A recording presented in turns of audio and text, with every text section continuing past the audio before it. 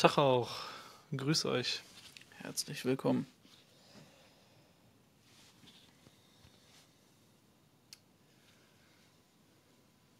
Wer ist denn so schon am Start? Wir sprechen heute über die Linke und alles drumherum, was da alles so passiert ist. Ich glaube, es wurde schon sehr, sehr lange nicht mehr so ausgiebig über die Linke als Partei natürlich. Ne? Nicht, nicht die Linke. Genau. Gesprochen wie jetzt gerade.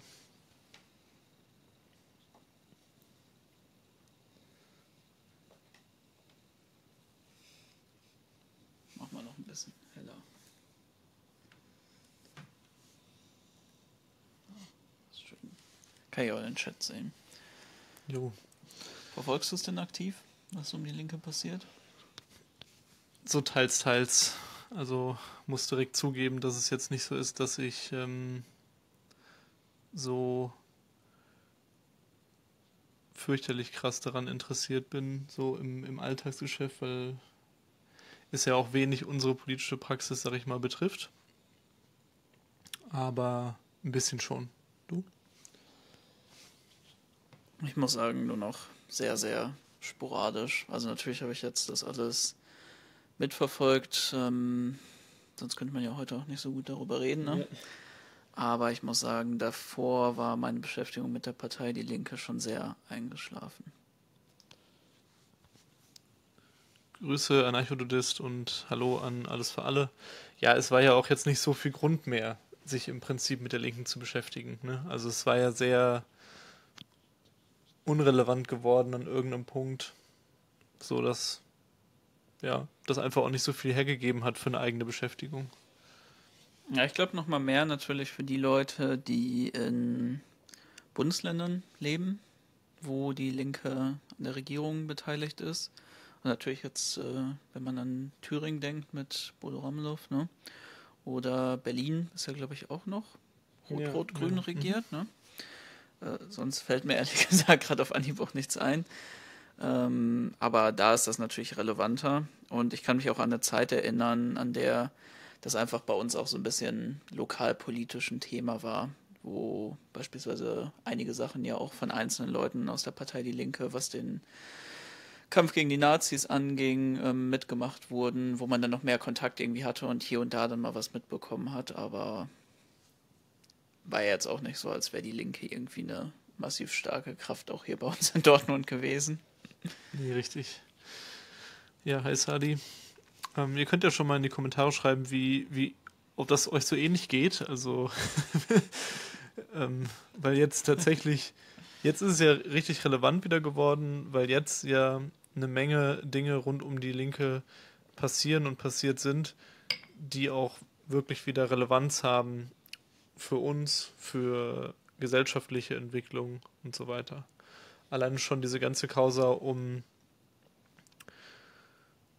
Wagenknecht ist ja auch immer eine Frage gewesen, die an uns herangetragen wurde, wo ja Leute immer wieder wissen wollten, was halten wir denn jetzt von Wagenknecht und was ist so unsere Position ähm, dazu und jetzt, wo Wagenknecht wirklich ernst gemacht hat, ja auch mit diesen, was, ich, was mich dann schon auch überrascht hat, wie viele mitgezogen sind. Also das waren ja jetzt, glaube ich, neun ähm, Kandidaten. Ein Viertel circa, ne? Ja.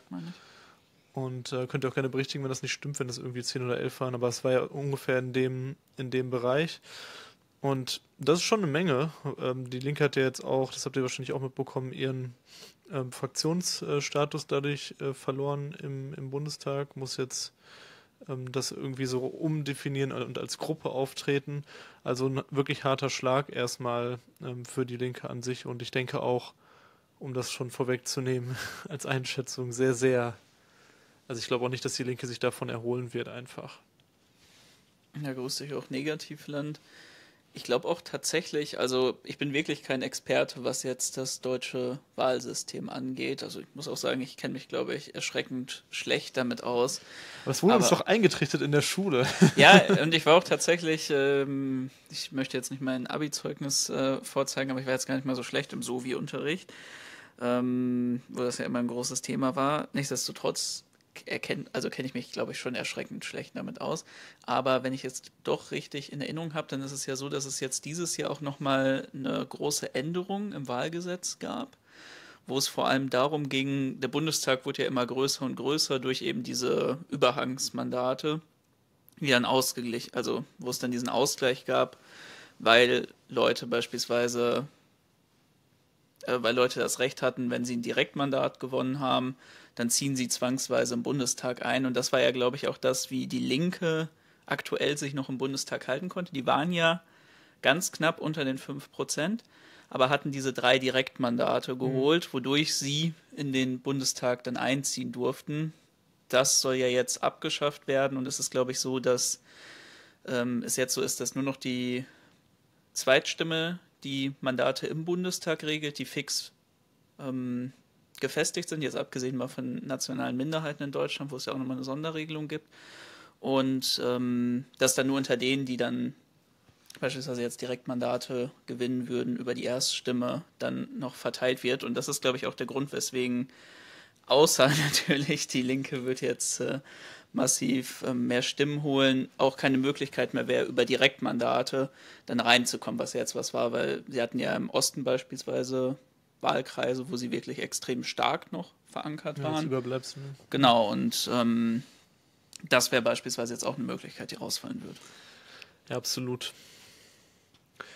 Ja, um das vielleicht auch zu, vorwegzunehmen, nochmal, wieso das für diejenigen, die das nicht wissen, im Kontext ähm, von, von unserem Podcast bisher noch nicht mitbekommen haben oder so, wie so unsere persönliche Position zum Thema Wahlen ist, weil das ja dann sicherlich auch eine Rolle spielen wird und auch vielleicht für einige, die uns nicht so sehr verfolgen, ähm, interessant ist. Also wir sind jetzt nicht so die ähm, Wahlboykott-Anarchisten oder so, also wir würden einfach primär eigentlich sagen, dass es nicht die allerrelevanteste Frage unserer Zeit ist, was man jetzt persönlich wählt und was nicht.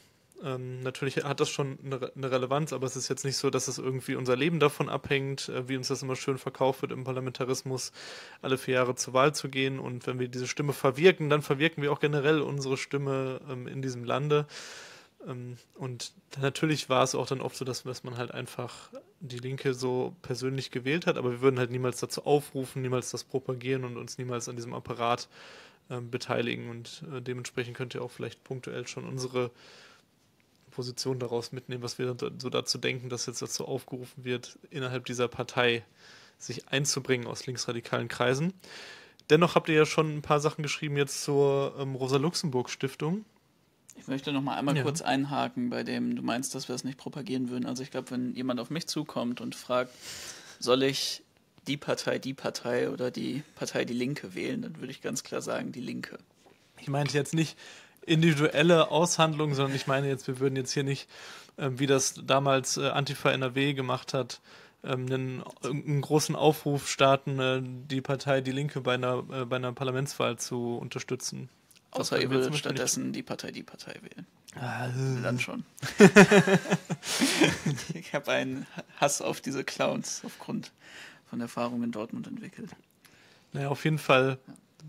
Ähm, wenn ihr, wenn ihr unsere Stimme noch hört, dann äh, wir können eh nichts ändern. Wir müssen halt einfach so weitermachen. Für alle, die, die hier nur, nur, sporadisch reinschauen, ab Dezember werden wir hier auch unser Setup professionalisieren und bis dahin müssen wir ah, ähm, okay. zusammenhalten. Ähm, und solange ihr unsere Stimme hört, ist ja das Wichtigste getan. Auf jeden Fall ist es, äh, was ja, ihr habt ja schon den ersten Punkt angesprochen mit der Rosa-Luxemburg-Stiftung und das ist ja auch so wie mir scheint, eine der Hauptargumentationen jetzt in dieser ganzen Debatte, warum jetzt Linksradikale sich der Linken anschließen wollen. Jetzt ist sie ja ideologisch bereinigt, wo die ganzen Störenfriede mit äh, äh, und so raus sind und jetzt kann man da ja wieder ähm, guten Gewissens ähm, wieder reinjoinen. Und eine These, die ich jetzt auch schon die wir auch schon ein bisschen vorher diskutiert haben und die ich jetzt auch schon von Genossen gehört habe. Vielleicht liegt es daran, dass diese Leute jetzt alle in die linksradikale, in die, in die Linkspartei eintreten, die aus linksradikalen Strukturen kommen, weil sie sonst ihre Jobs verlieren oder ihre Gelder ähm, nicht mehr nicht mehr bekommen. Und ja, das trifft natürlich auch die Rosa-Luxemburg-Stiftung. Ja, absolut. Also ich würde dir auch absolut zustimmen. Auch dir, Lana, die das, glaube ich, geschrieben hat. Ähm Aber ich würde ja noch darüber hinausgehen. Also es ist ja nicht nur so, dass das jetzt an der Rosa-Luxemburg-Stiftung hängt, sondern man muss ja an dem Punkt wirklich mal ansprechen, dass, wenn wir uns die radikale Linke in Deutschland angucken, das ja, glaube ich, finanziell wahrscheinlich.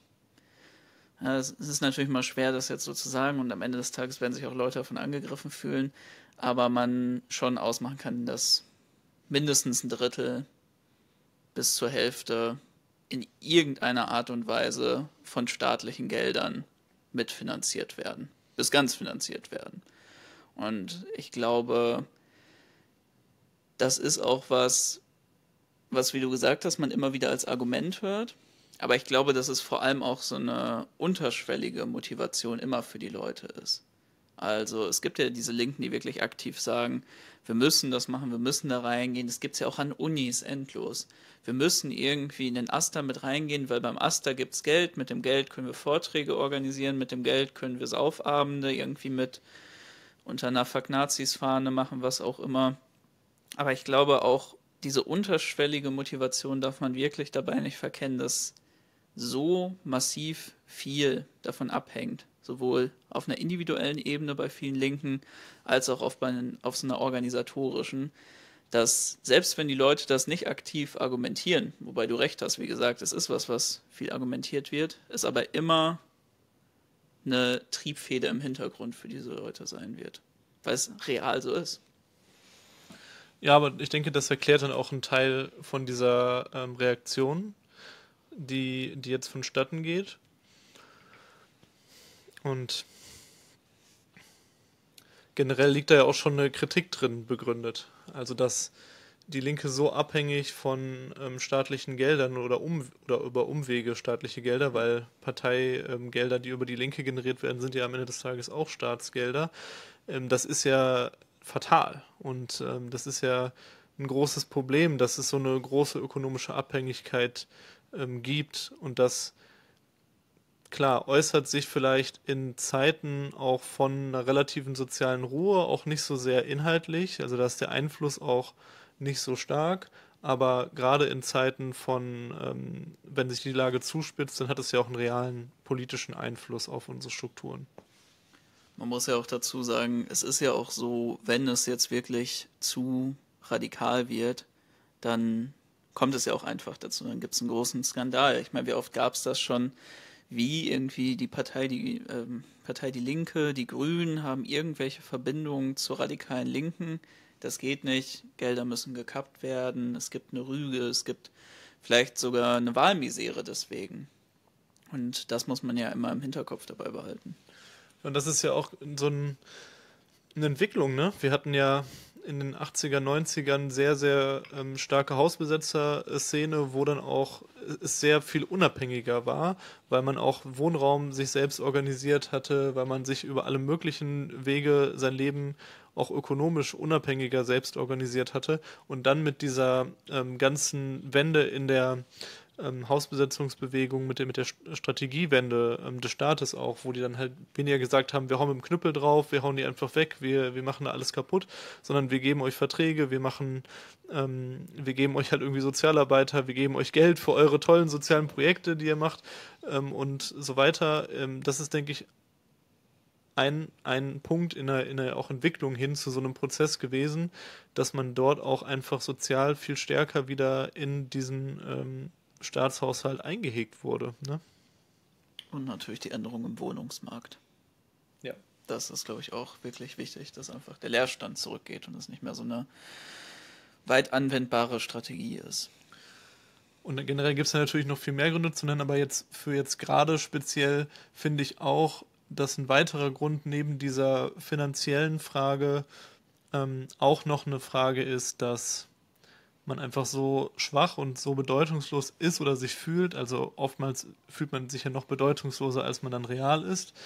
Ähm, und dass man, das ist, ist, ja auch in diesem Text, in diesem Begründungstext, wo die Leute geschrieben haben, dass sie in die Linkspartei gehen, aus der radikalen Linken, ist das ja auch so formuliert, ne? dass, dass halt bisherige Ansätze gescheitert sind, dass man irgendwie jetzt außerparlamentarisch probiert hat zu wirken und dass das irgendwie nicht funktioniert hat und jetzt müsse man doch äh, seine Wirkmächtigkeit in den Parlamenten irgendwie entfalten.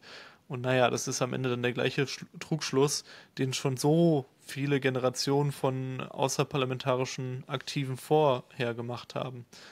Beginnt mit den Grünen über diverse andere oder sogar noch früher natürlich, aber die Grünen sind halt so aus der neueren Zeit eben das perfekte Beispiel dafür, wo das versucht wurde und ja grandios gescheitert ist.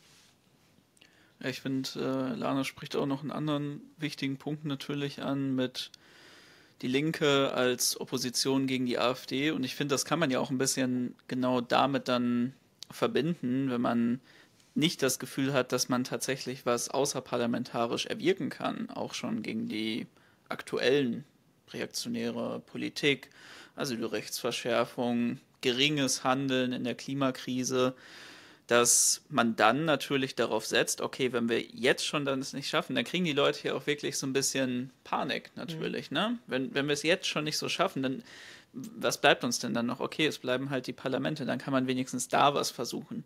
Nur finde ich das so genial, dass du das jetzt so angesprochen hast, die Leute merken, dass sie keine Erfolge erzielen mit außerparlamentarischer Politik und total unbedeutend sind, was man natürlich jetzt sehr verallgemeinert, aber natürlich auf einer großgesellschaftlichen Ebene schon so sagen kann. Mhm. Dass man dann sich dazu entscheidet, wir müssen jetzt die Partei Die Linke retten, die ja wirklich in einem katastrophalen Zustand ist. Und ich will gar nicht wissen, wie sie aktuell jetzt bei Umfragen aussehen, aber ist ja auch noch aus dem hessischen Landtag mit Ach und Krach rausgeflogen. Also finde ich das schon wirklich faszinierend, dass man dann sagt, hier haben wir jetzt unsere Lösung und es ist ja wirklich ein Kampf, der jetzt geführt werden muss, ein Kampf, der geführt werden muss, um überhaupt auf diese 5% zu kommen. Was verspricht man sich denn auch davon? Dass jetzt man darauf vertrauen kann, dass noch schön viele kleine Anfragen im Bundestag gestellt werden. Also, das war es ja. Es ist ja nicht so, als würden jetzt 5% für die Partei Die Linke im Bundestag gigantische Unterschiede für zukünftige Gesetzesentscheide machen. Ähm, Danny, wir sprechen heute über ähm, die Partei Die Linke, über ähm, auch äh, Wagenknecht, ähm, die Austritte ähm, aus der Partei Die Linke und auch den generellen Umgang mit der, mit der linksradikalen äh, Szene jetzt äh, unter der Ankündigung, dass es ähm, Beitritte aus linksradikalen Strukturen in die Partei Die Linke gibt weil man diese wieder stärken möchte. Weißt du zufällig noch, ähm, wie das heißt? Das ist ja jetzt auch ein offizielles Dokument, was dazu. Genau, ein Aufruf. Ja, ja. Ne? Wie, weißt du noch, wie der heißt? Weil dann kann man das vielleicht sagen. Ja, könnt ihr das auch nachlesen. Könnt ihr kann gerne noch mal irgendwer ähm, in den Chat reinschreiben, das wäre super. Einfach auch den Link dahin, dann könnt ihr euch von diesem Text äh, selber ein Bild machen. Sadi, den Punkt, den du ähm, schreibst, dass du nie wirklich kapiert hast, wofür die Linke überhaupt steht, dass es irgendwie gefühlt tausend Akteure gibt, die tausend unterschiedliche Dinge umsetzen wollen. Ich denke, das ist zumindest für, für so breitere Wählerschichten halt super, super relevant. Ähm, ja, denn auch wenn du im falschen Land bist, auch das ist ja auch für an, andere Leute in anderen Ländern relevant, was hier mit der Linken Deut passiert. Wenn du deutschsprachig bist, dann wird es ja wohl auch äh, zumindest für Österreich mit der KPÖ ein Pendant. Also vielleicht bist du ja auch wieder Schweizer, wie die meisten hier. Aber auf jeden Fall ist es auch ein wichtiger Grund für breitere Wählerschichten, dass es so viele unterschiedliche Akteure gibt und dass man dann auch so ein in so eine große Uneinigkeit oftmals hat, viele Streitereien, wo dann sich die bürgerlichen Medien drauf stürzen und so. Und ähm, dann auch für, ja, diese, wofür die Linke halt primär eigentlich ja stehen sollte und eigentlich so die Flagge hochhält oder so ein Eigenbild hat, dass man primär für die soziale Frage steht. Ja, das kommt halt oft dann nicht bei den breiteren Wählermassen an, weil man dann nur von diesen komischen Klüngeleien und Aneinanderreibung und Ausdünstung von irgendwelchen komischen Arbeitsgruppen zu Israel oder was oder, oder Palästina und irgendwelchen Kriegen dann da mitbekommt oder so. Also erstmal sage ich äh, Danny Phantom, dafür musst du dich nicht schämen. Ich finde, wienerisches Deutsch ist wirklich äh, der schönste Dialekt. Und ähm, ja, mit dieser Zerstrittenheit, ich finde das auch wirklich faszinierend. Also für mich als Kind war das so oder als sehr junger Jugendlicher, wo ich angefangen habe, mich mit Politik zu beschäftigen. Da klang das erstmal eigentlich alles ganz gut. Also es war dann sicherlich auch noch die Zeit, in der die, ähm, die Linke ähm, gute einstellige Ergebnisse erzielt hat. Ich, ich könnte es jetzt gar nicht beschwören, wie viel, weil so habe ich das irgendwie so in Erinnerung, dass sie irgendwie so ähm, mal bei dieser mal bei so einer schönen 8 oder 9 Prozent stand. Also ist jetzt auch nur ein Bauchgefühl, ne? Nagel mich darauf nicht fest. Ähm, aber als ich dann mich damit angefangen habe zu beschäftigen, irgendwie, was gibt es da alles für Plattformen drin? Kommunistische Plattformen, antikapitalistische Linke, emanzipatorische Linke, äh, Arbeitskreis Kuba C, was weiß ich, marxistische Linke gibt es, glaube ich, auch noch. Das ist ja wirklich sehr massiv und ähm, dann auch so ein bisschen, wenn man sich das anschaut, mit der Entstehungsgeschichte der Partei macht das ja auch irgendwie total Sinn. Dieser Zusammenschluss aus ähm, WASG, das war ja, glaube ich, diese SPD-Abspaltung, ne? Ja. Ähm, Wahlalternative äh, Arbeit und soziale Gerechtigkeit, meine ich, die dann mehr auch westdeutsch war. Und dann eben die, ähm, der SED-Nachfolger ähm, PDS. Und das macht ja irgendwo, wenn man heute so darüber nachdenkt, auch total Sinn, dass diese Partei intern total zerstritten ist. Es ist ja auch so ein, immer noch so ein Vorwurf, den man immer und immer wieder dann im Anschluss gehört hat, ja, das ist die, ähm, die SED-Nachfolgepartei, da sitzen jetzt immer noch die Leute, die damals die DDR regiert haben. Ähm, wurde ja auch immer noch, äh, kann ich mich dran erinnern, gesagt, Mauermörderpartei, auch so ein großes Ding. Ähm, ich dachte ganz lange, dass das gelogen wäre. Dann habe ich mal festgestellt, dass es tatsächlich noch Leute mit SED-Vergangenheit in dieser Partei ähm, lange gab und gibt.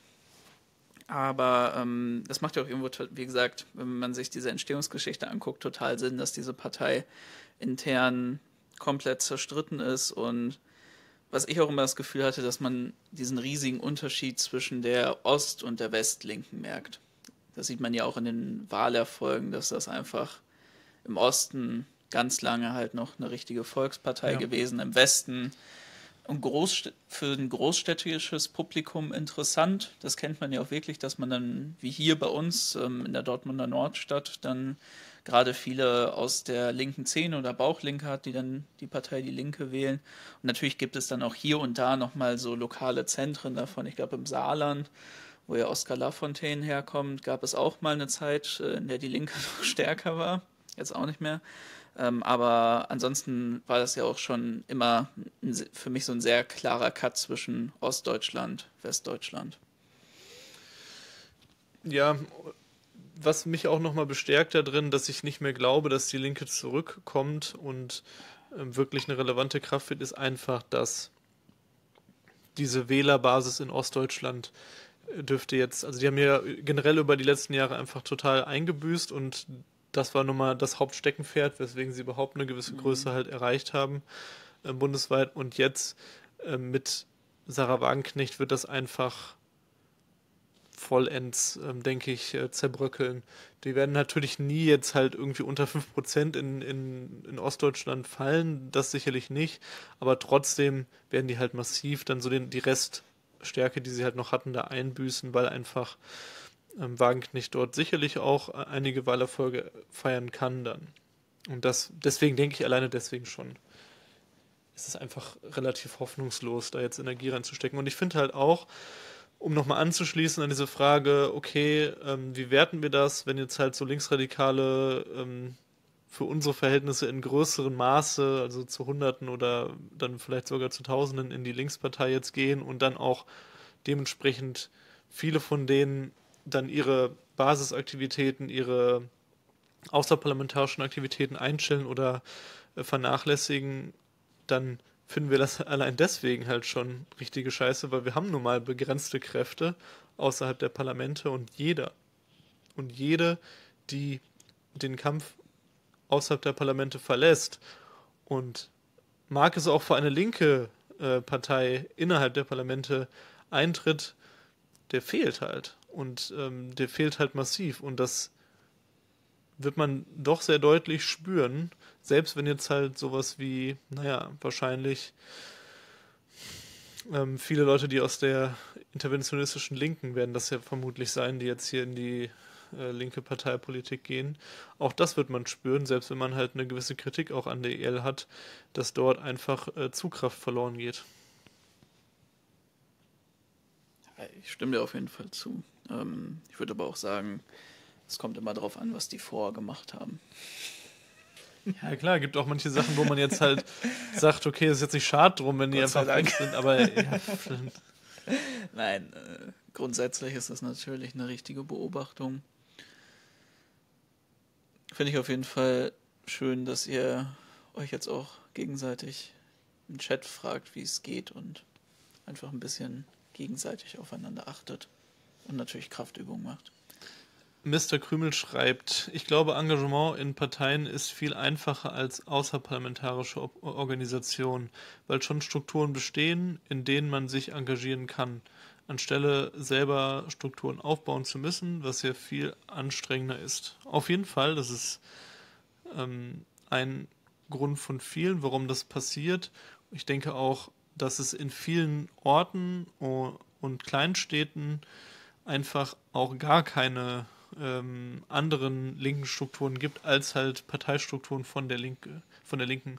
Also entweder als Partei oder als Jugendorganisation, ne? Deswegen, allein deswegen, das war ja auch oft ein Auffangbecken für speziell linke Jugendliche, die halt einfach aktiv werden wollen und es gab halt nichts anderes dann in ihrem 20.000 Einwohner Ort als die Linke. Das wird ja auch immer aktuell bleiben, dieses Phänomen. Ja, Fame, ich wollte dich gar nicht davon abhalten. Wie gesagt, ich finde das wirklich wirklich schön. Ähm, ich würde da auch dran anschließen, nämlich weil ich glaube, das ähm, stimmt absolut, dass gerade auch die Jugendorganisation Linksjugend Solid da genau diese Funktion erfüllt hat für Jugendliche und auch die Partei Die Linke für ältere Leute da einfach ein Auffangbecken war, was sicherlich auch nochmal angeheizt hat, dass sie intern so inhaltlich divers aufgestellt war. Aber was man, glaube ich, auch nicht vergessen darf, ist, wie öffentlichkeitswirksam auch einfach diese Partei war. Also hast es natürlich angesprochen, dass sie immer auch kritisch beleuchtet wurde, sowohl wegen der Vergangenheit als auch wegen den internen Streitereien. Aber wie viele Leute kennen denn tatsächlich unterschiedliche linksradikale, anarchistische Organisationen, wo sie sich jetzt anschließen würden, wo sie schon mal von gehört haben? Die Linke ist halt auch einfach ein Markenzeichen gewesen dem man vertraut hat, wo man wusste, da kann ich hingehen, da weiß ich ungefähr natürlich, also wie gesagt, abgesehen von der inhaltlichen Diversität, da weiß ich ungefähr, was ich bekomme. Und gleichzeitig, und das ist, glaube ich, auch was, was man nicht unterschätzen darf, was dadurch verloren geht, ist auch einfach diese Öffentlichkeitswirkung der Partei Die Linke. Also ich bin auch eigentlich ähm, mit in meiner ähm, Anfangspolitisierungszeit damit groß geworden, dass ich mir auf YouTube Gregor Gysi-Reden angeguckt habe im Bundestag. Und wirklich, also das war ja damals noch eigentlich, bevor jetzt die ähm, AfD reinkam, war das ja äh, noch seltener und da konnte die Linke richtig ein Markenzeichen damit setzen, dass wirklich dann so mal knallharte, ich hau jetzt mal auf den Tisch reden, dann da gehalten wurden. Das fand ich natürlich cool, ne? Und das ist, ist halt ja einfach was, was damit verloren geht. Absolut. Ist ja auch mit der charismatischste Linke, den es in Deutschland gibt. Und jetzt, jetzt, wenn man sowas sagt zu so einer Person, dann kommen natürlich direkt wieder zehn Leute, die sagen, ja, aber er hat jetzt letztens irgendwie das N-Wort gesagt und so. Was sagt er denn zu Israel? es geht einfach nur um eine allgemeine, und, und er ist ja auch eine Ikone in Deutschland so, ne? Und, ähm, und der, der ist halt dann zumindest, sag ich mal, äh, eine Person, die dann auch in irgendwelchen Talkshows mal gesessen hat und irgendwie über Imperialismus mit den Leuten halt und über Kapitalismus halt diskutiert hat. Ne? Und das ist ja schon viel wert in diesem Land. Ja, genau. Und das ist halt auch was, was verloren geht, weil es wird niemand. Also in ganz seltenen Fällen passiert das mal. Ne? Das haben wir jetzt ein paar Mal gesehen zu speziellen Themen, beispielsweise jetzt Gaza mit Abdul Shahin oder ähm, dass die Neubauer eingeladen wurde.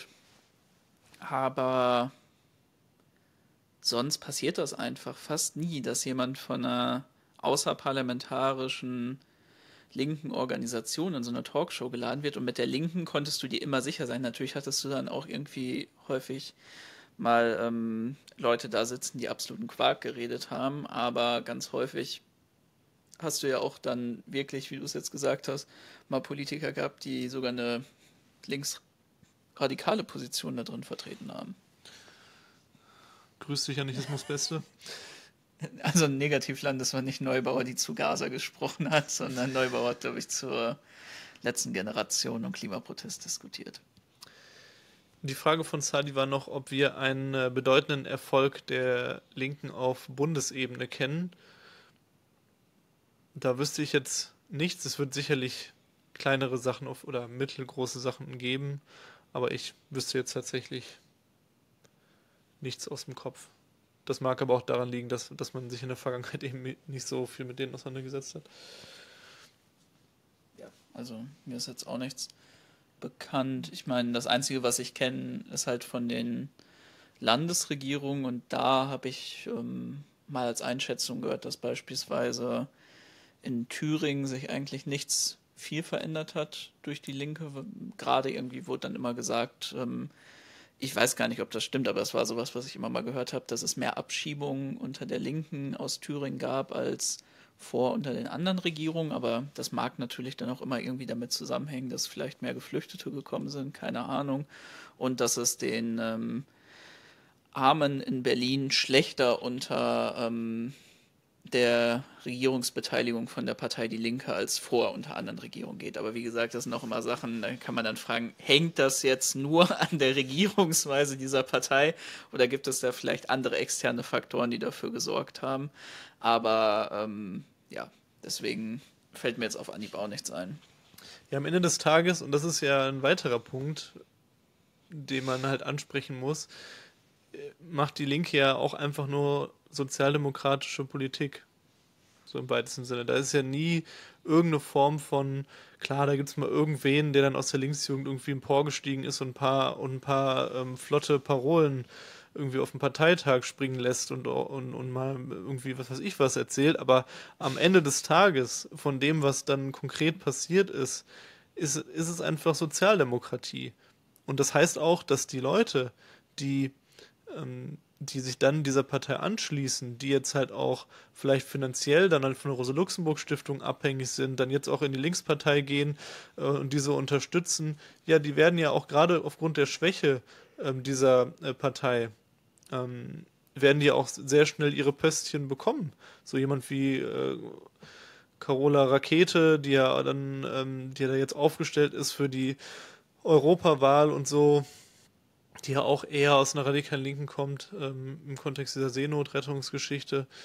Ja, solche Leute werden dann einfach auch sehr schnell eingehegt von dem entsprechenden ähm, Parlamentsapparat und einfach der sozialdemokratischen Realität, in der man sich dann da wiederfindet. Und ja, also ich sehe jetzt halt nicht, dass diese, dass man auf diesem Wege irgendwie grundsätzliche Veränderungen erzeugen kann und das macht diesen Aufruf halt auch so lächerlich, dass dann davon gesprochen wird, man würde jetzt hier ähm, die Partei für die Arbeiter, für die ähm, für die große soziale Frage, für den Antikapitalismus, für was weiß ich was ähm, umdefinieren. Also da ähm, werden diese Leute sich in der Realität dann nicht wiederfinden drin. Also selbst, um, das jetzt nochmal klar, Griechenland ist eine andere Situation, hat auch seine, seine konkreten Gründe, äh, warum ähm, in Griechenland sowas schwerer machbar ist, aber Syriza als äh, Partei, die ja sogar in Regierungsverantwortung war, die ja alleinig regiert hat, also die eine alleinige Regierung gestellt hat, weil sie zwischenzeitlich so viele Stimmen bekommen hat, wo ja, wo eine riesige linke Sammelbewegung war mit ähm, zahllosen, auch wirklich starken linksradikalen Organisationen, die dann in Syriza aufgegangen sind. Äh, selbst unter diesen Bedingungen ist ja wirklich fast gar nichts ähm, umsetzbar gemacht worden. Klar, Griechenland ist ein anderes Beispiel, weil man unter der Knute äh, der Treuhand stand etc. Aber es wird halt trotzdem deutlich an sowas, dass selbst wenn man die alleinige Macht hat als, und, und sehr starke linksradikale Kräfte hat, dass man dann trotzdem sehr, sehr wenig halt nur verändern oder zum Besseren bringen kann und manche Sachen einfach ganz normal im kapitalistischen allerlei sogar noch schlimmer werden, trotz dass man halt in dieser Regierungsverantwortung steht. Wieso sollte jetzt halt irgendwie eine bedeutungslose ähm, 3 bis 6 Prozent Partei halt irgendwie daraus ausbrechen können? So, das kann mir halt kein Mensch erklären und das ergibt auch keinerlei Sinn. Aber ich glaube, da müssen wir, wie wir am Anfang eigentlich schon richtig festgehalten haben, natürlich auch sagen, dass das nicht der Sinn von der ganzen Sache ist. Ne? Also das ist ja wirklich nicht das, was die Leute sich davon versprechen. Jo, Anarchismus Beste, unsere Alerts sind leider tatsächlich aus. Ähm, dank dir trotzdem äh, fürs Abo oder was auch immer du da getan hast. Ich kann es gar nicht einsehen. Ähm, ja, wir, ab Dezember wird es dann wieder ähm, hier fancier werden. Ihr müsst leider auskommen mit dem allerbasicsten Livestream, was es nur geben kann. Ja, Copo und Nightmare Reality, die SPD ist der Räterepublik nicht nur einmal in der Umbruchszeit ähm, der Weimarer Republik in den Rücken gefallen. Und ich würde sogar auch sagen, dass die Linke noch nicht mal die SPD vor 100 Jahren ist. Also ja. ich glaube, dass tatsächlich die SPD vor 100 Jahren, also das ist ja auch was, was man immer so ein bisschen jetzt in der Retrospektive, weil wir die SPD heute kennen, ne, so ein bisschen unterschätzt, dass es ja wirklich noch sehr große radikale Flügel in der SPD gab. Also natürlich gab es auch die Abspaltung mit der USPD, die dann noch ähm, deutlich äh, revolutionärer aufgestellt war, aber es gab ja auch in der SPD selber noch wirklich viele Sozialdemokraten, die von dieser ursprünglichen sozialdemokratischen Idee überzeugt waren, nämlich eigentlich das, was wir heute mit einer parlamentarischen kommunistischen Partei verbinden würden. Wir versuchen die Parlamente zu erobern, um dann den Sozialismus über den parlamentarischen Weg einzuführen. Und ähm, ich glaube, wenn wir uns jetzt die Linke angucken, dann ist sie ja eigentlich auf dem besten Weg dahin, wenn man sich so die internen, äh, interne Politik und diese Spaltung anguckt, eigentlich eher sowas wie die Grünen zu werden, ne? Dass man so diese ganz klaren Reformkräfte hat, die sagen, okay, wir, wir sind wirklich einfach nur noch eine in dem heutigen Sinn sozialdemokratische Kraft und ein paar ähm, Halteplattformen, die dann sagen, wir wollen wirklich noch eine Überwindung des Kapitalismus. Ja, also tendenziell schon und ich glaube auch die generelle Entwicklung von der Linken ging auch in diese Richtung. Aber ich denke schon, dass mit diesem aktuellen Stand es so eine, so eine gewisse Entwicklung wieder nach links von der Linkspartei geben wird. Zumindest rhetorisch erstmal. Äh, da bin ich mir, da bin ich mir relativ sicher, weil ich glaube schon, dass man jetzt halt sich irgendwie abgrenzen und positionieren möchte und auch darstellen möchte als eine reale Opposition und nicht mehr einfach nur so ein Mitschwimmen in diesem allgemeinen Parteiendiktus und halt die AfD ist halt die einzigste wirkliche Opposition und dann jetzt bald noch Wagenknecht. Ähm, das, das wird, glaube ich, schon sich auch in der Linken so ein bisschen ändern. Und ich glaube auch, deswegen, weil halt auch dann diese, sie halt diese linksradikalen Kräfte als Fußvolk brauchen, die jetzt halt ähm, deren Scheißarbeit halt machen. Und äh, die werden ja auch dann so ein bisschen was an Rhetorik damit reinbringen. Ich glaube schon, dass das passieren wird. Das wird halt keinerlei Auswirkungen auf die Realpolitik haben, die die machen, aber an diesem Duktus. Und nichts anderes ist es bei der AfD am Ende auch der Fall. So, die machen auch halt einfach eine völlig andere Realpolitik, als das, was sie halt verlautbaren lassen. Das ist auch immer dreimal radikaler als das, was sie am Ende des Tages dann umsetzen oder machen. Was ja auch die Nazis dann immer in schöner Regelmäßigkeit betonen, dass, äh, dass die AfD ja nicht wählbar sein, weil sie ja, das, das was sie, was sie radikal verlautbaren lassen, dann doch nicht machen und die einzigen, die das radikal umsetzen würden, wären die Nazis selbst. Also ich dachte, du sagst es irgendwas zu den Juden. Wie? Ist das nicht immer eine Kritik, die auch aus Dortmund kam? Ja, das auch. Ja, ja das ist so pro, pro-jüdische Position oder Grundhaltung von der AfD gibt ja das auch. Ähm ja, Nightmare, du schreibst ja auch, dass es ähm, nicht sinnvoll sei, jetzt aus einer anarchistischen Perspektive darüber zu sprechen, eine Partei mit dem Ziel der Regierungsbeteiligung zu unterstützen. Und das stimmt natürlich, aber ich finde immer, für mich macht sich so ein kleiner Widerspruch da auf, wenn man sagt, aus einer anarchistischen Position möchte ich die Partei instrumentell strategisch als Zugang für Infrastruktur, für Geld, für die Bewegung und so nutzen.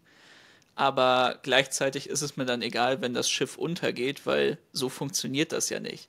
Also es ist ja nicht irgendwie ein freies Warenlager, aus dem man sich bedienen kann und die Leute aus der Partei sagen, ach ja, macht ihr mal ruhig erstens werden ja auch häufig Gegenleistungen erwartet und zweitens durch dieses Abhängigkeitsverhältnis, was man selber schafft, bindet man sich natürlich, selbst wenn man jetzt ähm, so ja ganz äh, nonchalant damit umgeht und sagt, ach, ich, ist mir doch scheißegal, was jetzt mit der Partei Die Linke passiert, wenn man dann auf einmal ja ähm, Wie jetzt feststellt, dass man nicht mehr über die 5% kommt. Genau, und eine finanzierte Stelle bei der Rosa-Luxemburg-Stiftung irgendwo hat, einen Arbeitsplatz bezahlt, die lokale Struktur regelmäßig Geldgeschenke und Finanzierung für was weiß ich in dem lokalen Raum bekommt und auch ganz viele tolle Workshops und ähm, Bildungsseminare bezahlt werden, dann würde ich sagen, hat man wirklich ähm, ein sehr spannendes instrumentell-strategisches Verhältnis dann irgendwann aufgebaut, nämlich eins von der eigenen Abhängigkeit davon.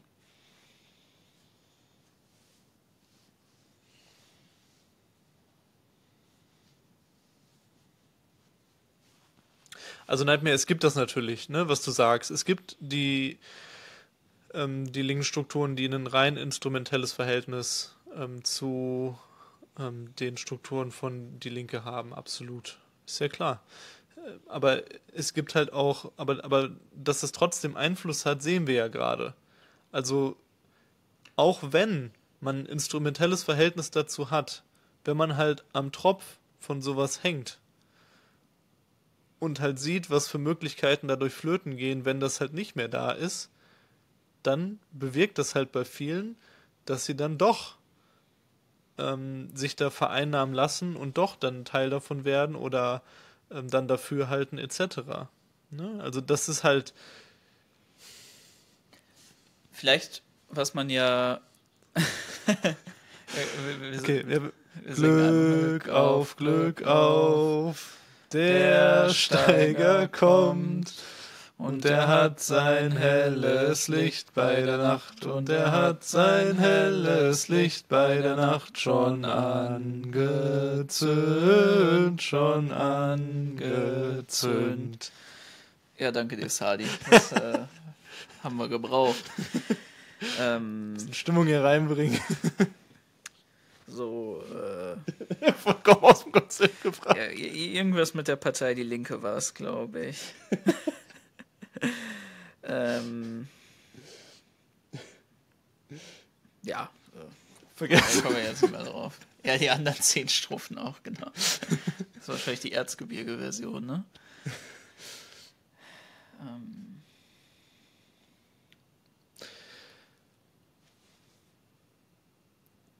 vielleicht dann, bis es dir einfällt, nochmal zu der Frage von Zadi, ob es überhaupt möglich wäre, dass eine linke Partei jetzt äh, Deutschland regieren könnte in dem aktuellen kapitalistischen System. Und ja, ich glaube, das auf jeden, also auf dem Papier ginge das sicherlich wie gesagt, wenn Syriza in ähm, Griechenland regieren kann, dann kann auch in Deutschland eine, eine, linke oder linksradikale Partei regieren. Es wird halt einfach dazu führen, dass sie halt nur sozialdemokratische Politik machen oder eine Revolution von oben durchführen. Aber es gibt halt keinen Zwischenweg. So. Also es gibt halt wahrscheinlich keinen Zwischenweg, weil einfach die Marktgesetze müssen halt eingehalten werden, die ähm, Fragen der, äh, die Konzerne, die Fragen der, der Konkurrenz unter ihnen, da kannst du nicht einfach so sagen, ja komm, ähm, ich beschneide jetzt mal hier die, äh, alle, alle möglichen ähm, Zuwendungen und ähm, Begünstigungen für, ähm, für Konzerne und die Reichen und so, das wird halt schon enorme Folgen haben. Und das kannst du nicht einfach so machen. Oh, das ist mir auch wieder eingefallen. Also bezüglich dieser Frage von Leuten, die über Jobs oder so beispielsweise da jetzt eingebunden werden oder linksradikalen Gruppen, die die Finanzierung erhalten, die ähm, das als Infrastruktur für die Bewegung nutzen. Ich glaube, was man bei so einer Kritik oder so einer Beobachtung, die wir da machen, nicht vergessen darf, dass es hier nicht darum geht, da einen Vorwurf zu machen. Das ist ja auch was, was wir beispielsweise, ich meine, wir haben ja auch alleine, was wir jetzt in äh, Chemnitz gemacht haben, das war ja auch über irgendwelche Stiftung, Staatssachen, was auch immer. Ja, wir haben das selber nicht ähm, gemacht, wir haben nur daran teilgenommen. Ne? Genau, ne? aber, aber sowas, oder wir haben auch selber ähm, schon. Also, damit es überhaupt erkenntlich ist, was ja. wir meinen, also es ist halt ein, ähm, ein Kongress zum Thema Anarchismus äh, gewesen, der von, von Genossinnen organisiert genau. war und wir waren auf dem Podium eingeladen und das wurde halt mitfinanziert über städtische Gelder und ja. so. Und wir haben ja selber auch schon öfter von sowas profitiert oder mit aktiv Infrastruktur bei Parteien, was auch immer genutzt. Und da geht es wirklich nicht darum, so einen Vorwurf zu machen, auch nicht jetzt was individuell, beispielsweise Leute, die dann irgendwie einen Job über irgendeine Stiftung bekommen oder über irgendeinen ähm, parlamentarischen oder städtischen Kram. Das ist ja genauso wie Leute, die einfach irgendwo gezwungen sind, an der ähm, Wirtschaftsweise, an dem Wirken von einem Konzern beispielsweise teilzunehmen, weil sie halt Lohnarbeit machen müssen. Ich glaube, es geht da auch wieder einfach nur darum zu gucken, wie bringen wir uns in Abhängigkeitsverhältnis und wie verhindert das eben einen tatsächlichen Aufbau von ähm, revolutionärer Politik und einer revolutionären Perspektive. Aber es geht dabei nie darum, irgendwie den Vorwurf zu machen. Und teilweise kann es sogar auch strategisch sehr sinnvoll sein. Also auch wie Nightmare das geschrieben hat, teilweise kann es wirklich auch strategisch sinnvoll sein, aktiv vor Ort dann, was weiß ich, die Räumlichkeiten, die Infrastruktur von der Partei Die Linke zu nutzen. Nur es muss halt immer klar sein, dass man dieses kritische Verhältnis dazu wahrt und auch immer ganz genau darauf achtet, wo schaffe ich diese Abhängigkeitsverhältnisse? Wo kann das meine eigentliche Arbeit verhindern? Ja, weil diese ganze Diskurs von der AfD oder so, die jetzt da die ganze Zeit rumlamentiert, von wegen, dass jetzt halt hier linke Strukturen dann von Staatsgeldern und so finanziert werden, das ist ja einfach nur Neid. So, also die wollen halt selber die Staatsknete halt haben für ihre rechtsradikalen Strukturen und das ist einfach nicht, nicht mehr und mehr als Neid so. Und das ist halt, du musst ja irgendwie äh, Strukturen finanzieren. Und was für Wege gibt es denn, um Strukturen zu finanzieren? Das können wir uns ja mal angucken. So, du hast auf der einen Seite Möglichkeit über irgendwelche Stiftungen, das muss ja auch gar nicht staatlich sein, das kann ja auch andere Stiftungen ähm, sein oder über Parteien oder so, es kann ja auch ähm, unabhängige Stiftungen sein oder soziale Angelegenheiten. Klar haben die manchmal dann auch ihr Geld über den Staat, aber so, das ist die eine Möglichkeit in einem Sozialstaat normal, der auch darauf ausgelegt ist, um eben soziale Programme zu fördern und so, ne? Dann äh, gibt es die Möglichkeit, selber Dinge zu verkaufen, eine eigene Ökonomie aufzubauen. Das tun jetzt linke Räume meistens in Form von Alkohol. ja, in irgendwelchen autonomen Zentren oder was weiß ich, aber es gibt natürlich auch andere Strukturen, es gibt Buchläden, es gibt ähm, irgendwelche Kaffeekollektive etc., ähm, Merchandising, irgendwelche ähm, Black Mosquito, was weiß ich, ähm, Geschichten. Und dann gibt es noch die Möglichkeit, Spenden von Einzelpersonen, also im Prinzip das, was die Leute halt Lohnarbeiten, äh, dass diese Menschen ihre Arbeitszeit, ihre Lohnarbeitszeit wo sie das Geld dafür bekommen, in die Sache einbringen. Das sind ja im weitesten Sinne die drei Möglichkeiten und die vierte Möglichkeit, die Expropriation, ist halt etwas schwieriger geworden und die lässt sich hier auch schwer diskutieren in diesem, in diesem Rahmen. Aber sowas gab es natürlich früher auch. Früher wurden halt dann viel ähm, linke Strukturen auch dann tatsächlich über äh, Banküberfälle und so weiter finanziert. Ja, aber das sind ja im, im weitesten Sinne halt die vier Möglichkeiten, die es halt gibt, um Strukturen zu finanzieren. Und du brauchst halt Geld. Du brauchst halt Geld, um halt Gesellschaft zu verändern, um Strukturen aufzubauen. Ähm, und komplett ohne Geld geht es halt nicht.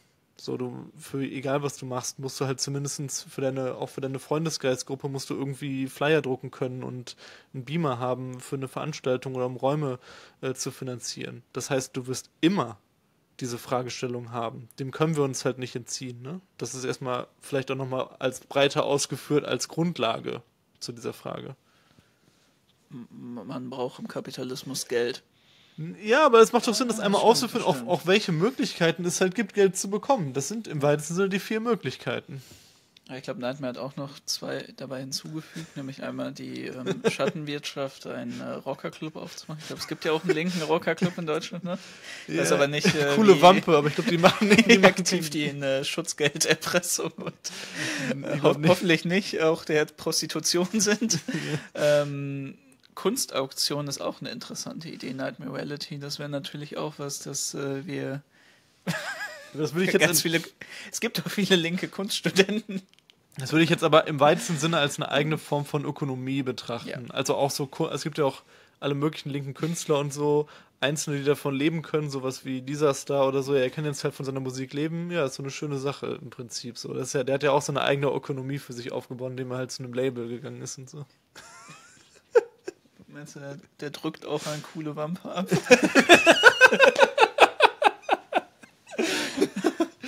ist nebenbei kein Scherz. Also ich weiß nicht, ob ihr das kennt, aber Coole Wampe ist der linke Rockerclub in Deutschland. Also ein Scherz, egal. Ja.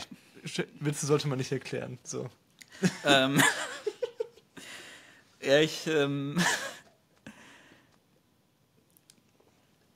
ich glaube auch, das ist so ein bisschen die traurige Sache, wenn man sich das anguckt, dass wenn wir jetzt ein bisschen drüber nachdenken, ich meine, du hast jetzt Alkoholverkauf in linken Läden, Soli-Partys wurden ja auch schon angesprochen, ähm, genannt, dass das schon sehr stark ist, aber die anderen Sachen wirklich vergleichsweise wenig Einfluss haben. Also es gibt natürlich auch äh, anarchistische Organisationen und auch natürlich gerade viele kommunistische dann, ähm, die mit Mitgliedsbeiträgen arbeiten, wo das dann natürlich rüber funktioniert.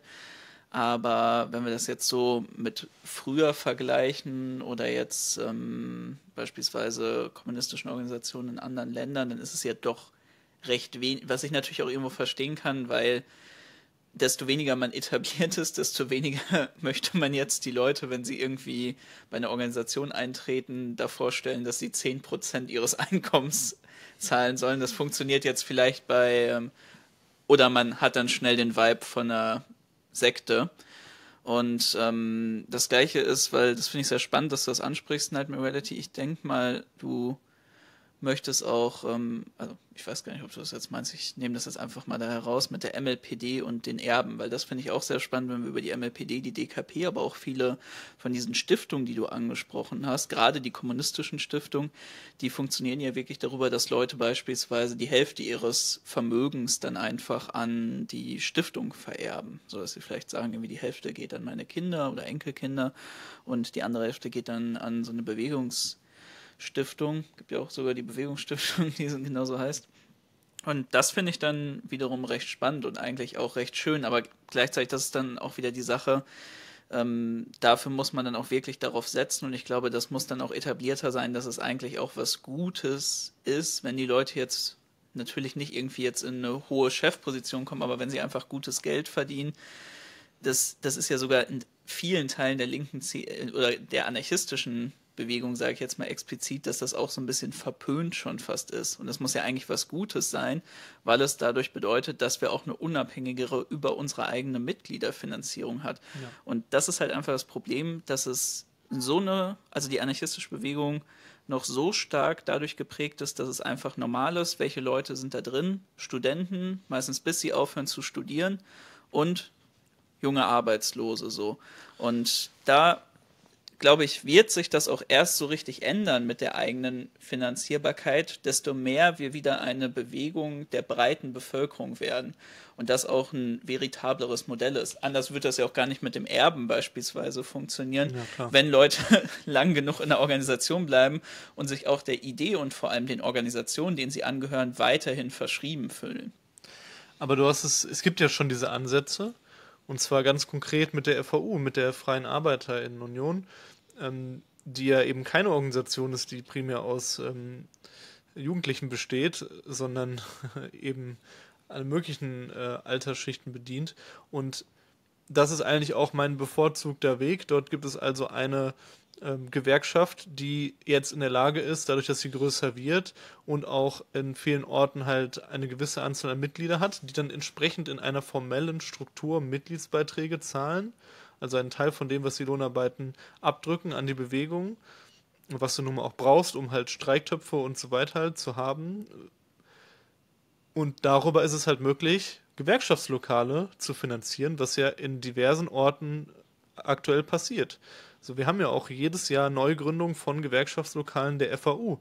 Und das, ist halt, das sind dann halt eben Strukturen, die aus der Mitgliederbasis der Organisation geschaffen werden und die sind entsprechend auch unabhängiger. Klar, die sind auch nicht komplett unabhängig, weil das sind Mietorte in der Regel, ja, wo man halt auch immer eine Unsicherheit hat, weil so groß ist dann der Geldtopf natürlich nicht, dass man jetzt sich Gewerkschaftshäuser kaufen kann.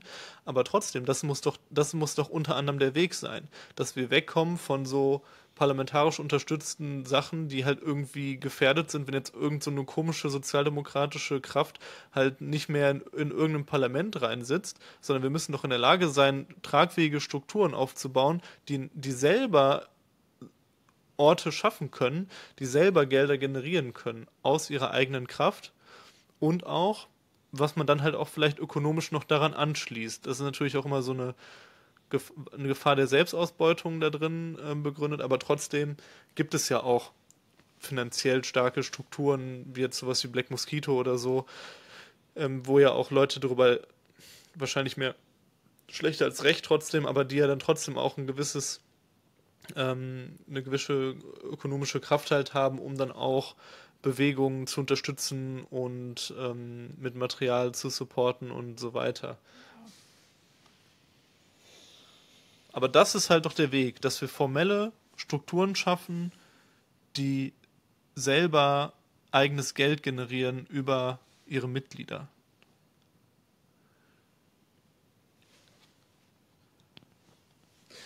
Anarchismus Beste, wie viele Mit Rocker-Mitglieder der Coole Wampe Club ähm, hat, dürfen wir leider nicht verraten. Da haben wir vertragliche Regelungen einzuhalten. Sorry. Wir sind nur Hangarounds.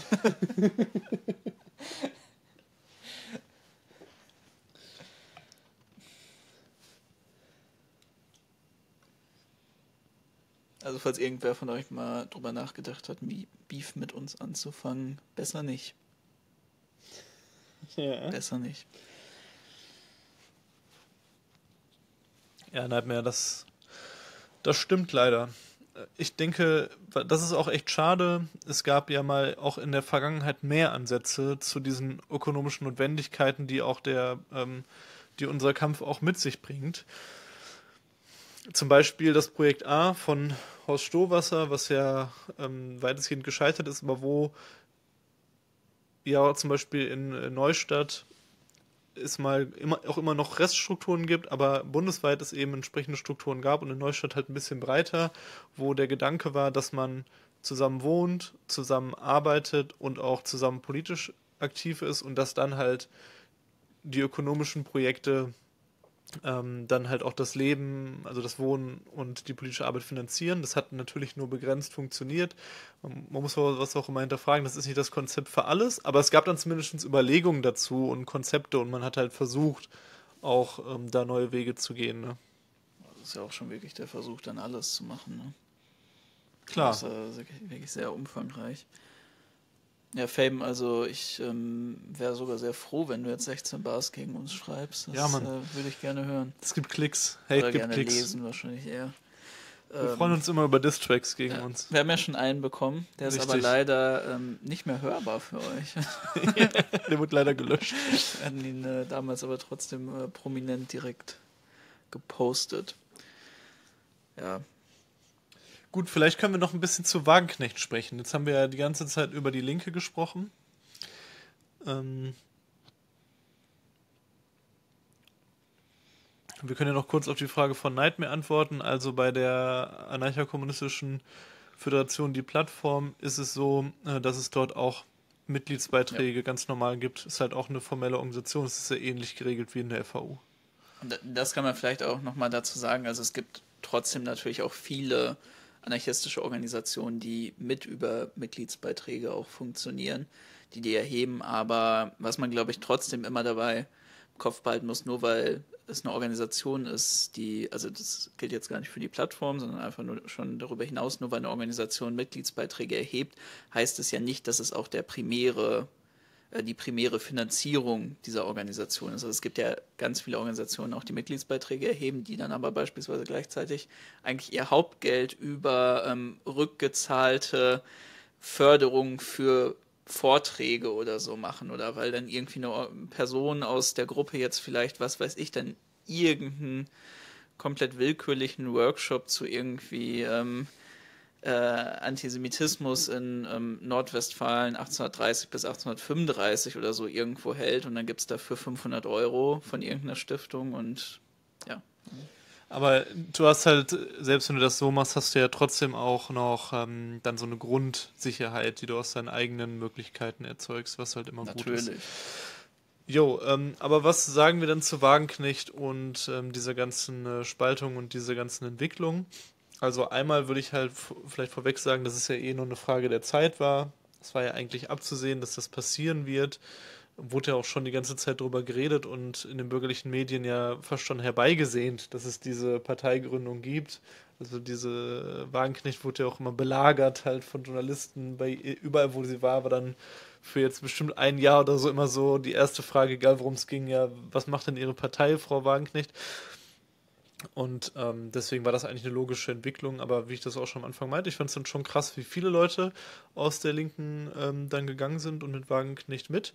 Und interessant ist ja, dass der, der neuen Partei, wenn sie dann antritt, sehr hohe Wahlergebnisse prognostiziert werden, in Ostdeutschland teilweise bis zu 20 Prozent. Das ist natürlich, muss man dann gucken, ob das realistisch ist und wie sich das, wie sich das umsetzen lässt. Ähm, aber am Ende des Tages ist für mich erstmal grob gesagt Wagenknecht auch nur eine Form von Sozialdemokratie halt noch mit stärkeren Einschlägen, mit so, mit so rechten Positionen halt einfach, ne, die, die sie halt vertritt.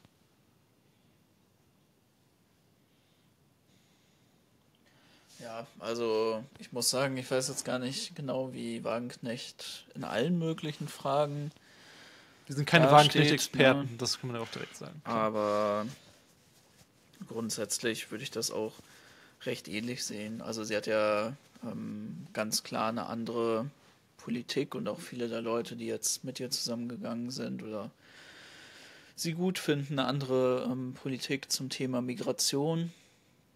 Und ich glaube, es gibt auch noch ähm, bei ihr dann einfach äh, abweichende Position vom Die Link Mainstream, was jetzt äh, beispielsweise queere Fragen, antirassistische Fragen angeht. Also und eine klare Kritik am Liberalismus, so, ne? Ja, aber ich würde auch sagen, generell an Identitätspolitik. Mhm. Also nicht nur am Liberalismus, sondern sie hat ja, glaube ich, schon ähm, da einfach so eine. Ich würde das jetzt aber auch gar nicht so fix machen. Dass, ich habe auch das Gefühl, dass es häufig eher so, so ein populistischer Reflex von ihr jetzt ist. Mhm. Also so eine es gibt ja auch in diesem Buch, was sie geschrieben hat, dann ähm, einfach so eine sehr starke Kritik an diesen Lifestyle-Linken, wie sie das nennt, wo man, glaube ich, alles dann so drunter fassen wird, was jetzt der ähm, moderne Deutsche unter dem Begriff links, jetzt eher rechtsgeneigt ist, darunter versteht. Und ähm, ich glaube, daneben, neben den sozialen Fragen, ist natürlich auch das Thema von Friedenspolitik, ähm, in dem Fall dann eben eine ähm, eher Russland zugeneigte Haltung dann noch ein großes Thema. Ähm, wir reden heute genau über äh, Wagenknecht, ähm, über die neue Partei von Wagenknecht, über die Linke, ähm, die Spaltung in der Linken und dass einige Linksradikale sich jetzt äh, wieder in der Linken anschließen wollen. Und jetzt reden wir gerade, haben wir gerade begonnen, über Wagenknecht zu sprechen.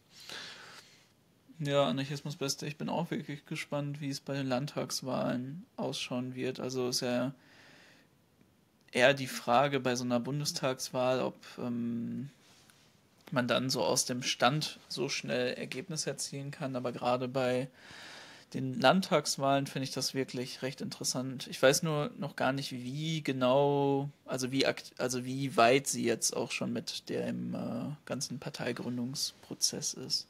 Ja, Sadi, also sie war natürlich nicht schon immer so, sondern sie war halt so der marxistische Stern äh, am Himmel sozusagen. Also sie kam ja wirklich so richtig, ähm, sie war eigentlich die Ikone des, ähm, des Marxismus in Deutschland ursprünglich mal und hat sich dann jetzt halt sehr stark eigentlich davon wegentwickelt über die Zeit. Ähm, Nightmare das recht, also das war ein bisschen, bisschen äh, platt von mir gesagt, ne? nicht, nicht, nicht generell Liberalismus, sondern eher ähm, diese ganze Identitätsfrage ist bei ihr auf den Zettel. Was ich halt schon, was ich trotzdem, also was ich wirklich absurd finde, also natürlich haben auch wir eine starke Kritik an Wagenknecht und ähm, halten jetzt halt nichts von dieser neuen Partei, so ist ja alles offensichtlich. Aber ich finde schon echt lächerlich, wie sich abgearbeitet wird von vielen radikalen Linken an Wagenknecht so. Und dass, dass sie irgendwie so hervorgehoben wird als jetzt so besonders ähm, schlimm und als dass man jetzt daran äh, jetzt seine ganze Politik daran ausrichten muss, da in eine Opposition zu Wagenknecht zu ziehen oder so. Das finde ich halt schon arg lächerlich. Und da warum halt? Warum sollte man jetzt halt eine stärkere Agitation und eine stärkere Aktivität gegen Wagenknecht als gegen die CSU haben oder so? Verstehe ich nicht, aber es ist halt tatsächlich ein, ein reales äh, Phänomen, ne? Ganz einfach, weil Nestbeschmutzer immer das erste Ziel sind. Mhm. So. Ja, Nightmare ist aber wahrscheinlich dann in der Zeit gewesen, in der Elsässer auch noch Linker war. Gehe ich mal schwer davon aus. Antideutsche. Antideutsche war er sogar.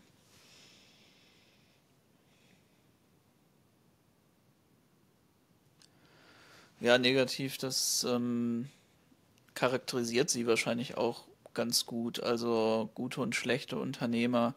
Ich glaube, Wagenknecht hat sich auch sehr stark in diese Richtung entwickelt, dass sie eigentlich jetzt von der reinen Sozialpolitik sich nicht großartig von vielleicht jetzt so einem eher linken Rand der SPD unterscheidet und es vor allem eher auch, also ich habe wirklich das Gefühl, dass es vielfach einfach auch um so einen populistischen Reflex geht, dass man dann sagt, die Linke hat in ihren ganzen Gesprächen über Identitäten und in ihrer inneren Unklarheit einfach eben die soziale Frage vergessen und die soziale Frage bedeutet eben bei Wagenknecht genauso wenig irgendwie ein grundsätzliches Ablehnen von ähm, ja nicht mal das Unternehmertum, sondern da muss man ja einfach sagen, der Marktwirtschaft, dem Kapitalismus, sondern es geht halt um, wir bräuchten eigentlich mal wieder mehr Sozialpolitik und ähm, da müssen eigentlich alle in diesem Staat ihren Teil daran tun. So. Grüß dich, Pronki. Schön, dass du das erste Mal dabei bist.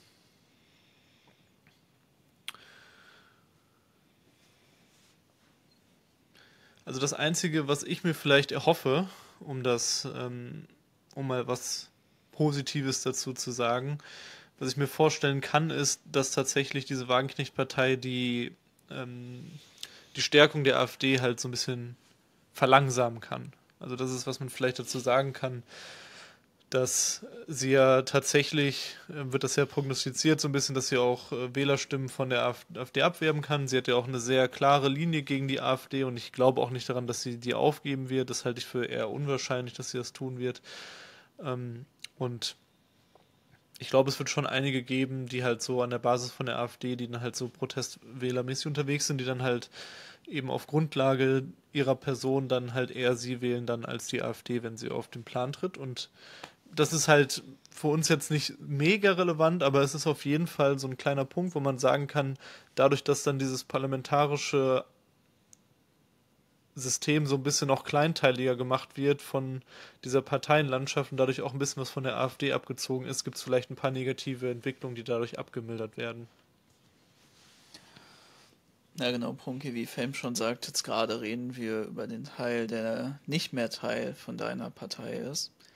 Was ich mich tatsächlich gerade gefragt habe mit dem Punkt der AfD, weißt du oder wisst ihr eigentlich, wie es ist, was Wagenknecht zu Zusammenarbeit mit der AfD gesagt hat? Also ich gehe mal davon aus, ja, dass sie ganz klare Trennung. Brandmauer, ja, ganz klare Brandmauer wie alle anderen ja. Äh, Parteien hat. Weil das wäre ja nochmal interessant. Nein, das, hat die ganz, das sagt die immer. Okay. Das sagt die halt immer so 100% halt.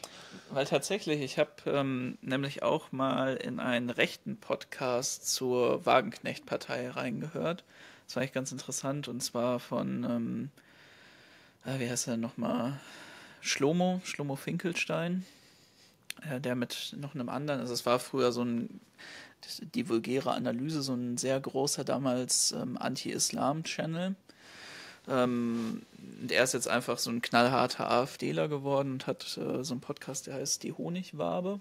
Mhm. Und äh, da hatte ich nämlich mal reingehört, weil mir ähm, auf YouTube so ein Schnipsel zur ähm, äh, Wagenknecht vorgeschlagen wurden. Dann hatte ich mal da reingehört, wo die dann auch länger über die Wagenknecht-Partei diskutieren und ähm, die haben im Endeffekt ein, ja, einfach nur sehr lange über diese Partei abgehatet, weil sie halt gesagt haben, dass das keine, also dass sie auch ähm, eigentlich ähm, Angst davor haben, dass die Partei jetzt zu einer Schwächung der Bewegung führt.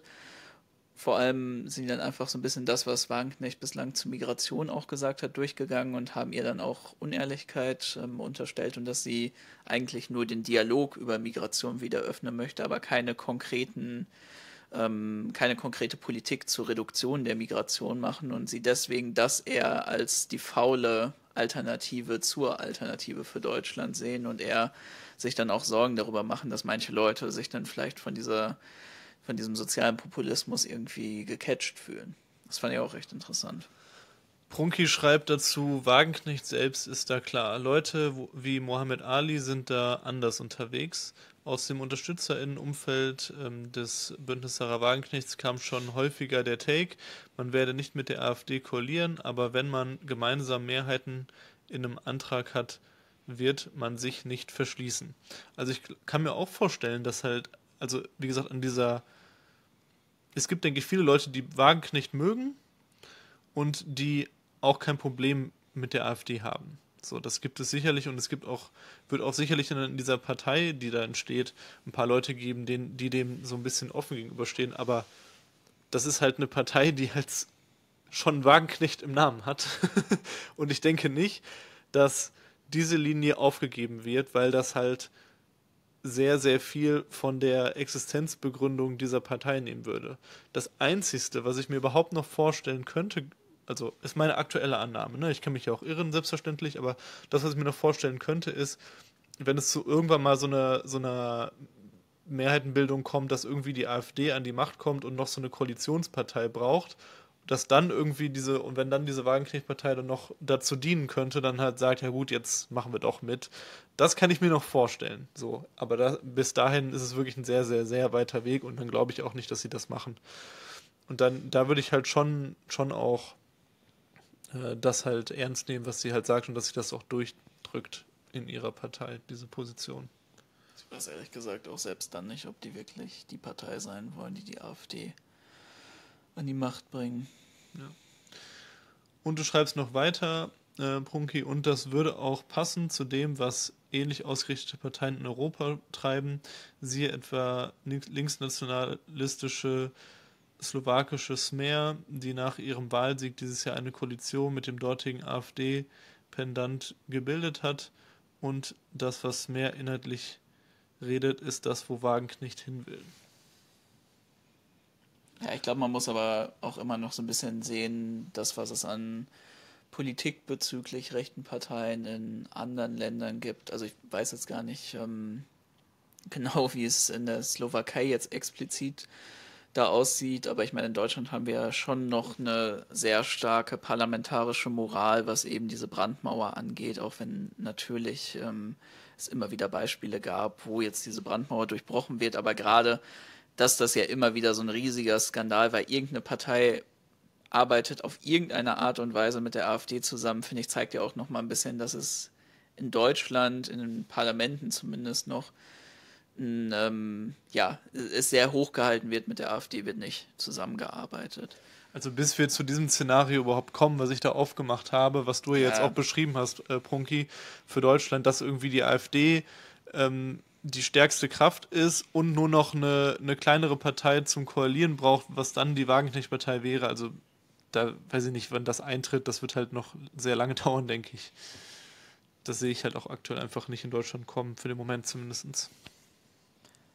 Ich, ich meine, wenn die CSU sich weiter mit der, mit der CDU zerstreitet und es äh, irgendwann doch nicht mehr die Möglichkeit für sie gibt, ähm, äh, da zusammenzuarbeiten, dann könnte ich mir das vielleicht auch über sowas vorstellen. Ja, Prunki, du schreibst noch, die Smer hat etwa damals äh, zu Corona-Zeiten oder beim Ukraine-Krieg eine Querfront forciert und Wagenknechts Friedensdemo war ja auch eine, auf eine Querfront ausgerichtet. Dem würde ich dir halt widersprechen, ähm, weil das ähm, so eine Sicht aus so einer linken Szene ist, die sicherlich waren an der Basis von dieser Friedensdemonstration auch rechte Leute und äh, war, äh, war das halt als eine breite Demonstration gedacht, wo nicht nur linke, linksradikale Kräfte daran teilnehmen. Aber es wurde ja, es gab ja explizit ähm, eine, eine Ausrichtung, dass man eben nicht äh, mit jetzt, dass man da die AfD und andere Kräfte halt eigentlich nicht haben möchte. Und es wurden ja auch explizit über Ordner ähm, zum Beispiel die, Kom ähm, die Kompakt-Leute da, ähm, Jürgen Elsasser und so runtergeworfen. Die hatten halt nur sehr wenig ähm, Kräfte, da vor Ort das auch zu machen und ähm, und von, von den Leuten, die hingegangen sind, hat das dann auch nicht so viele interessiert.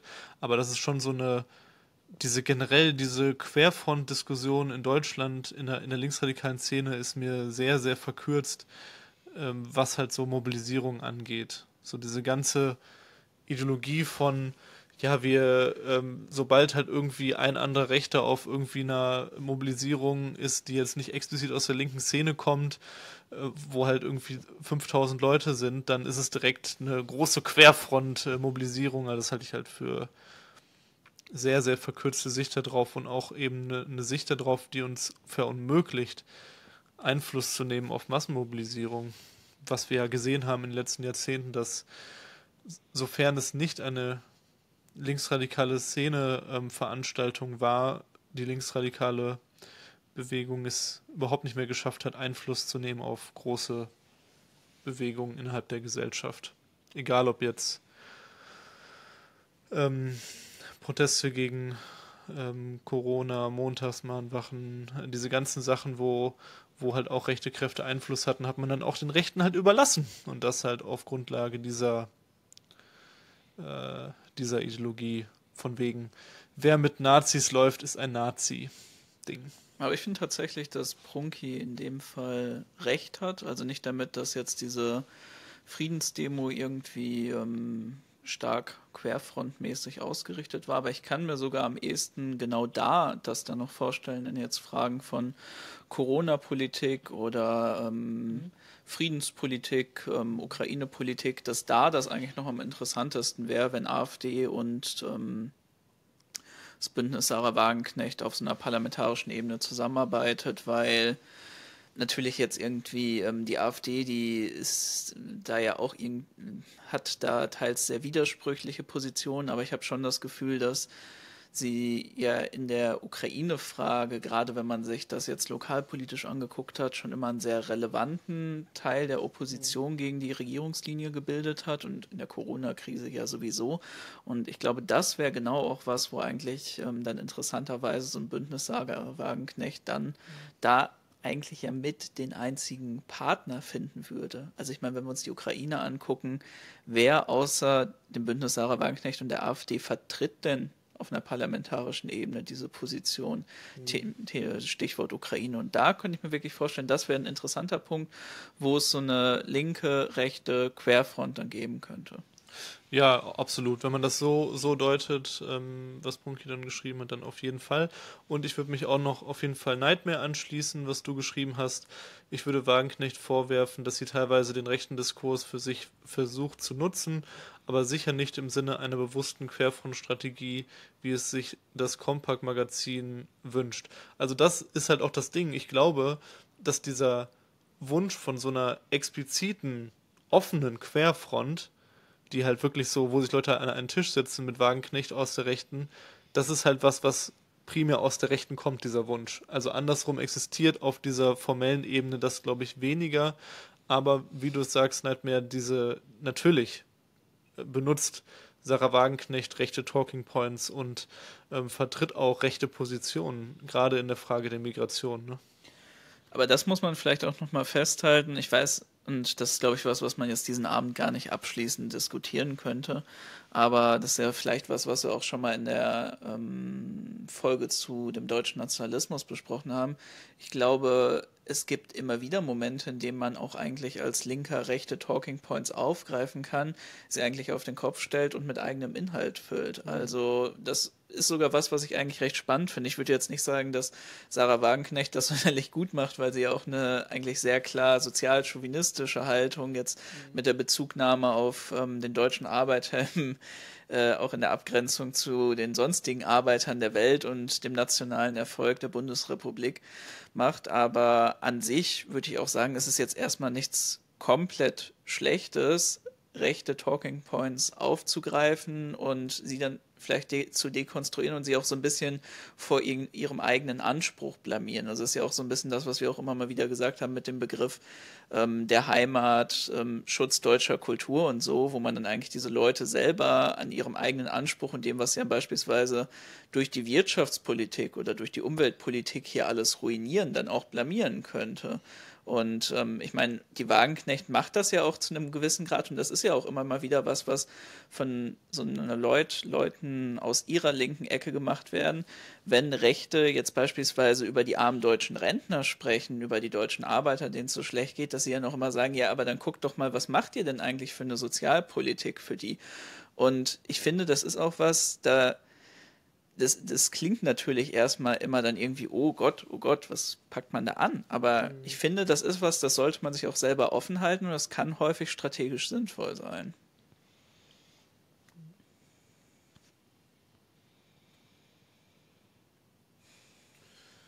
Ja, ich würde auch sagen, vielleicht machen wir jetzt noch mal eine letzte Runde so. Ja weil ich habe auch das Gefühl, dass ähm, es noch ein, zwei Punkte gibt, die man auch ähm, zu dem ganzen Thema besprechen kann. Und ich finde, vielleicht, da kann man auch nochmal aufgreifen, ähm, was Prunki jetzt da geschrieben hat. Es gibt keine klare Abgrenzung gegenüber der AfD. Die einzige Aussage war, wir können ja nicht verhindern, dass diese Leute kommen, aber gut, dann machen wir es an Wagenknechts engen Vertrauten Dieter Dehm fest, der Leute wie Hagi Maaßen, Markus Krall, Ulrike Gero, Roger Waters oder Roland Tichy hofiert in seinem Podcast. Und das ist natürlich eine Sache, ich, ähm, wie gesagt, ich würde dir eigentlich jetzt nicht zustimmen, dass es nicht irgendwie eine klare Abgrenzung gegenüber der AfD gab. Aber was es auf jeden Fall gibt, ist, dass es Leute im Umfeld von Sarah Wagenknecht gibt, die nochmal einen deutlich ja. klareren Turn nach rechts gemacht haben. Und es gibt ja auch Leute, die ursprünglich aus der Linken kommen, die beispielsweise jetzt auch in einem klar verschwörungspolitischen Milieu eigentlich angelangt sind. Auch ähm, vereinzelt ja, glaube ich, ähm, tatsächlich jetzt äh, Personen in höheren Posten. Und das ist natürlich was, was man dabei bedenken muss. Und ich glaube, man kann jetzt auch noch nicht hundertprozentig mhm. absehen, wie genau am Ende jetzt dieses Bündnis Sarah Wagenknecht dann aussehen wird, weil es halt so viele Leute auch aus diesem Spektrum gibt, die auch beispielsweise aus der Partei Die Linke dann einfach ausgetreten sind. Und genau so gibt es sicherlich jetzt auch noch Leute, die aktuell in der Partei verbleiben, aber wo man nicht weiß, ob sie jetzt noch rüberkommen. Ja, absolut. Ne?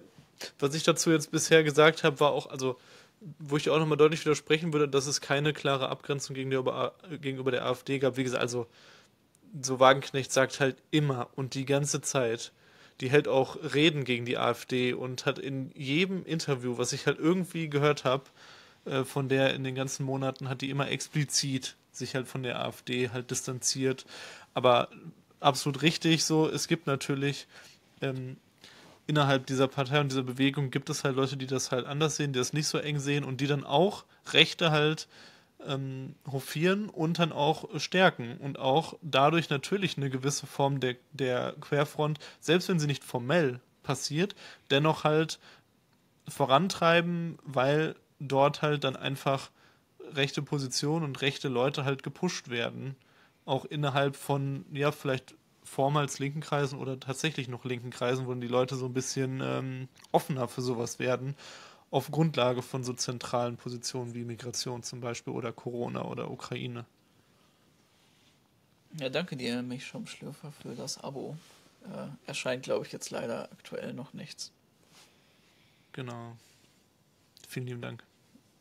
Und auch äh, generell nochmal ein ähm, Hallo an alle, die äh, neu eingeschaltet haben heute, die das erste Mal dabei sind.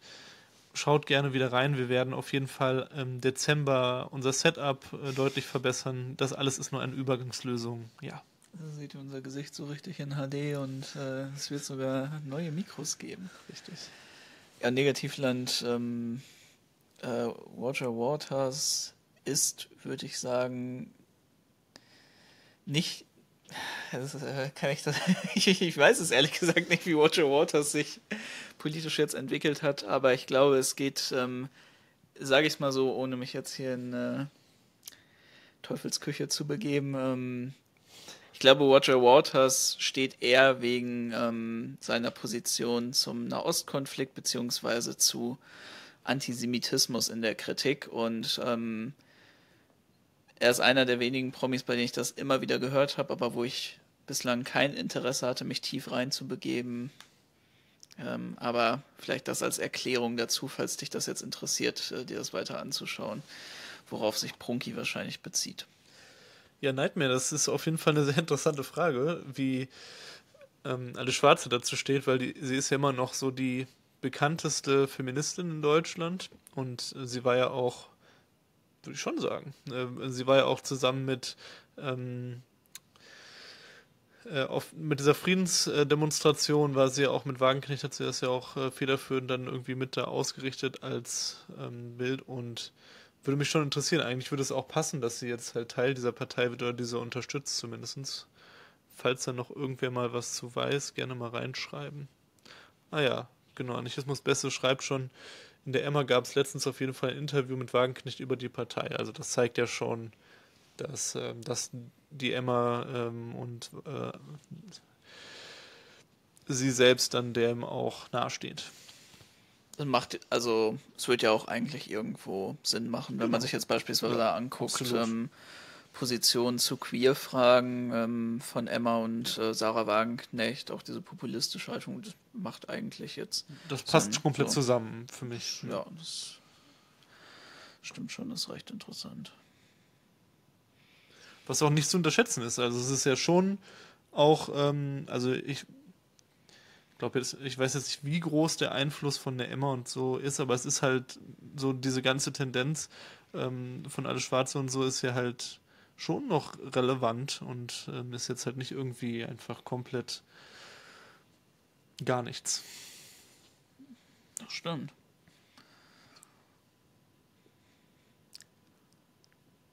Kann ich mir schon vorstellen, wie manche sich jetzt schon ähm, ausmalen, die Kanzlerin Wagenknecht. Ja. Endlich wieder ein Girlboss an der Macht. Hat ja mit, dem, mit der letzten Girlbossin auch gut, nicht so gut funktioniert. Naja, komm, ähm, es gibt doch immer noch, äh, jetzt ist doch so, müsste eigentlich diese Nostalgie angekommen sein, dass man sagt, die Jahre unter Merkel, die waren noch ganz gut. Hatte die lockerste Asylpolitik, ist aus der Atomkraft ausgestiegen. Auch wenn ich zumindest im Punkt der Atomkraft äh, ist kritisch sehe, aber ist wieder ein Thema für eine andere Folge. Ja, Jubra. Ähm, Kanzlerin Neubauer.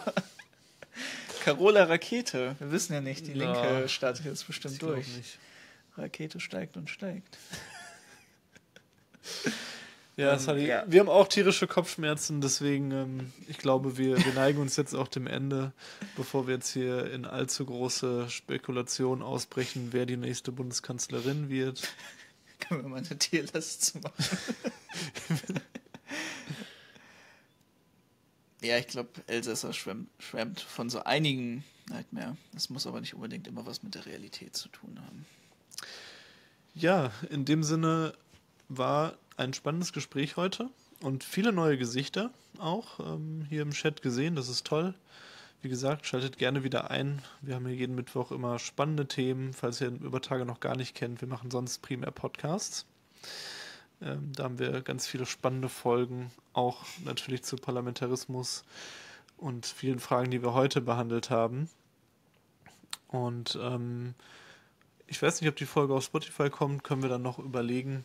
Auf jeden Fall kommt sie auf YouTube, so viel kann ich schon mal versprechen. Ja, das auf jeden Fall. Und ähm, ja, in dem Sinne ähm, sehen wir und hören uns bald wieder.